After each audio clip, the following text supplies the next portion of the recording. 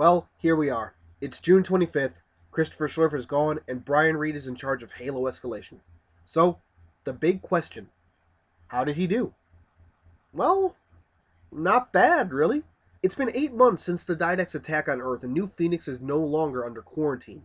The comic opens with a little backstory about Spartan Thorn, and for people who like little tidbits of information, this is absolutely great.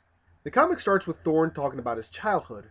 We know he was born in New Phoenix, but he might have been a true military brat during his early years, since the comic states that Thorn hated Earth, finding it to be quote unquote too built up, too old. Based on that, he must have been on other planets in his lifetime. Add to that that his grandfather wanted Thorn to learn about his mother's homeworld, and it seems pretty clear that Thorn was raised off world. The first pages, along with the aforementioned narration, features an eight year old Thorn giving a report on the city of New Phoenix, which is apparently made up of modern day Phoenix and Flagstaff. This falls in line with what we've learned about 26th century Earth, such as the formation of the Greater Chicago Industrial Zone, a zone that makes up much of the former states of Illinois, Wisconsin, and Indiana. Included with this presentation is something of a map showing how the US, and really all of North America, now known as the United Republic of North America, has changed over the centuries. All interesting, especially for me, but let's move on. On the same day as this presentation, Thorn finds out from his grandfather. Oh, did I mention that Thorn lived with his maternal grandparents? That his parents are dead. Both of his parents were army officers and had been stationed on the colony of Alluvian. Hooray, another new colony! Sadly, they were unlucky enough to be there when the Covenant showed up to glass it. Oh. I guess not so yay. Flash forward to the present. In orbit, Thorn and Majestic have been spending a week on board Oaxaca Station as Infinity is undergoing repairs. With New Phoenix being reopened and being so close to home, Thorn is having nightmares. The dreams start out with his grandmother teaching him to play violin. Suddenly, Thorn is grown up and an orange glow is seen outside of the house windows. The dream becomes a nightmare, with Thorn only able to watch as his grandmother and all the citizens of New Phoenix are composed. And now for a bit of art bitching. What the hell is up with this scene? Thorn just looks plain awkward, which sucks because the art was pretty solid up until this point. Anyway, Thorn is woken by Grant. Since it turns out neither of them can sleep, they decide to go for a walk. I guess they walk to the cafeteria? Anyway, Grant encourages Thorn to talk about his dreams and over some food convinces Thorn to go to the reopening of New Phoenix, even offering to act as backup for him. We flash forward two days to March 24th with the UEG President Ruth Charet giving a speech concerning the incident at New Phoenix. President Shard was first mentioned in Halo Glassland, so it's kind of interesting to actually see her. In the crowd, we can also see just how tall Grant and Thorn are compared to normal humans.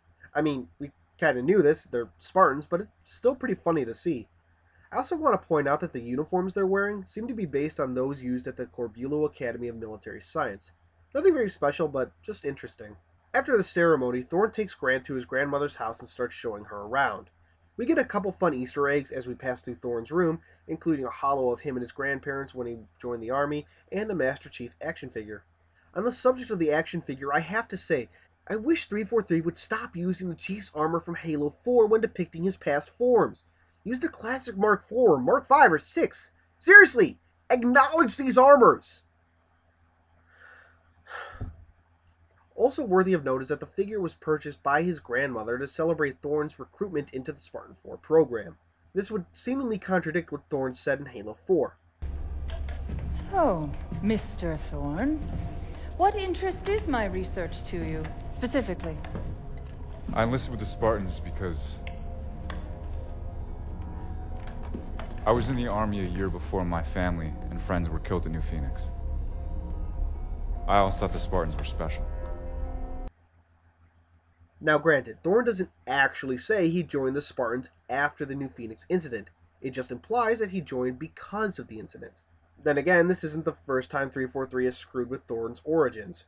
The Halo 4 Essential Visual Guide says that Thorn joined the UNSC in 2552, the earliest he could have joined is July, and somehow finished basic training in time for the Battle of Reach. This is all despite Spartan Ops saying that he had only been in the Army a year before New Phoenix. So, uh, yeah. Anyway, as Thorn ventures out back, he finds where his grandmother had been during the attack. She had been outside, practicing her violin. Thorn immediately wants to leave. I mean, who wouldn't? But Grant convinces him to cherish the memories he has of this place. And indeed, Thorn does, sitting down to play the violin one last time.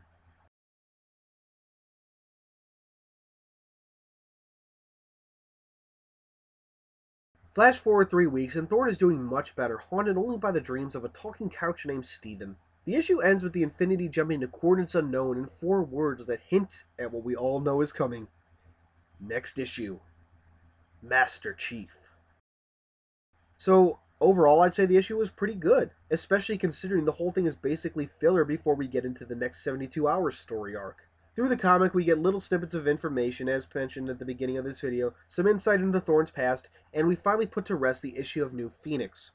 It also seems that 343 may be sowing the seeds of a relationship between Thorn and Grant. Can't say I'd be against it if that is indeed the case, but I might be reading into things.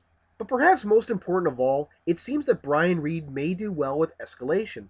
I don't want to get too optimistic yet, but I do feel cautiously positive about future issues.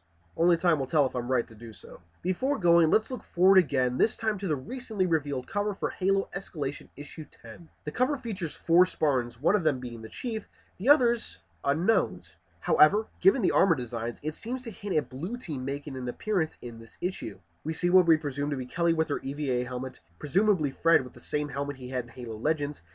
All right.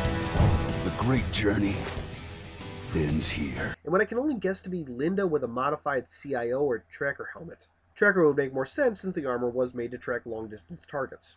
I can't say that I'm happy with the Spartans wearing the Chief's modified Mark 6 armor, especially since the Halo 4 Essential Visual Guide said that Blue Team has been using baseline Mark 6, like we see in Halo 2 and 3, and its variants. It could just be a choice for the cover art, but I wouldn't be too surprised if this is how they looked, assuming this is Blue Team and assuming they actually show up in the issue. So, that about does it for Halo Escalation. It was a good read, so be sure to pick it up. I'll leave you with this last thought. Thorn may very well have killed his own grandmother during his tour on Requiem. Special thanks to Decepticon Cobra for that heartbreaker. Hey guys, thanks for watching my video. It means a lot.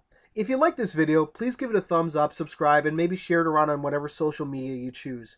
Your support is greatly appreciated. I cannot stress that enough. Thanks for watching.